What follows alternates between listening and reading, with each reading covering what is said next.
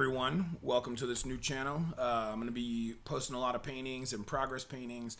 I'm going to be doing time lapse stuff, maybe some artist interviews. Um, on this first uh, sort of video vlog thing, I'm going to be showing a time lapse of this peacock painting behind me. And at the end of it, I'll be answering some of the questions that I got from people on Instagram. And I just got back from Denver. I dropped off a painting that I was honored to do for the almighty incredible Gordon Combs. Um, he's a great tattooer based out of Denver now, and he's also doing some time in Portland. Uh, he let me paint an eagle for him, and it, it, while it was intimidating, it was also a huge honor. Like I said, so I'll have some info about that, and also about um, showing some uh, Gordon's work to y'all. Uh, I also am going to be doing at the end of this video um, some of the responses to the questions I got asked on Instagram.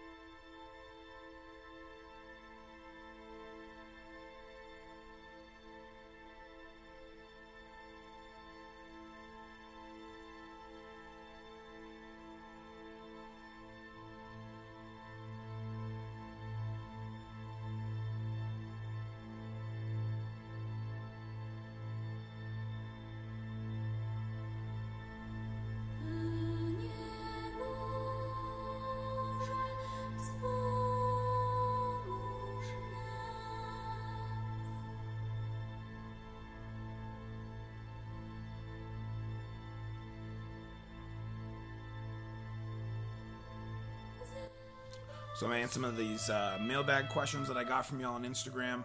Uh, my boy Nick Hall Tattoo said, "When did you start painting? Start oil painting? Um, I started oil painting about five and a half years ago. I really got into it because I realized that um, watercolor had kind of taken me to uh, maybe as far as I could go with what I wanted to show in painting."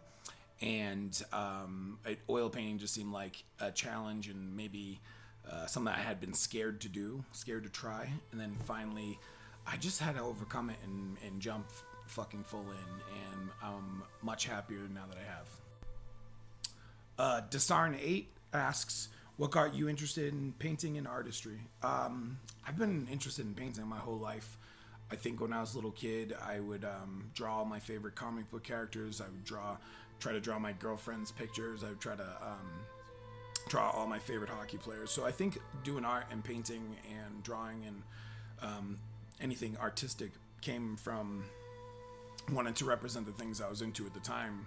So you know, along comes Nirvana, and i am drawing Nirvana style stuff. Um, you know, all of a sudden comes along hockey and and you know, so it, it's just been with me my whole life, and I've whenever I'm interested, I just wanted to make things about it.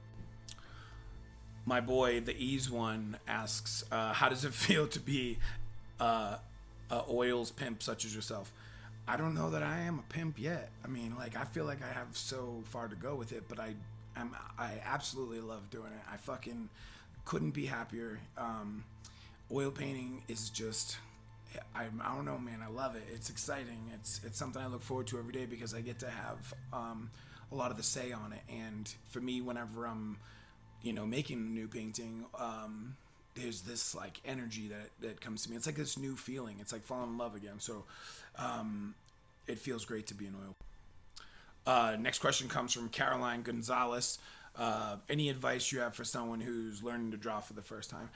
I would have advice for that. I'd say the, the best thing you can do is draw things that you're not comfortable with doing. I mean, I know you just have to have no expectations and no no idea that it's going to be you're going to make something. If you're going to go paint or uh, draw an elephant, it doesn't have to be about making the elephant instantly recognizable. You know, start with something easy like a like maybe the feet or the trunk or an eye or something like that. Don't go crazy. You know, um, and drawing as many different types of textures and um, shining things, texture, you know, like uh, furry things. Those things are good to learn about drawing because a lot of times drawing is more about what you're actually seeing there than an actual thing. You know, it's more of an oval or it's, you know, this thing has some shading underneath it. You know, it's not necessarily like that's the shadow and it's the shape of a puzzle piece. So I would just try to uh, deconstruct things that you want to draw um, section at a time. So, like, you know, a nose, an eye, a cheek. My little partner in crime here. Kitty boy. Kitty boy, titty boy. Huh.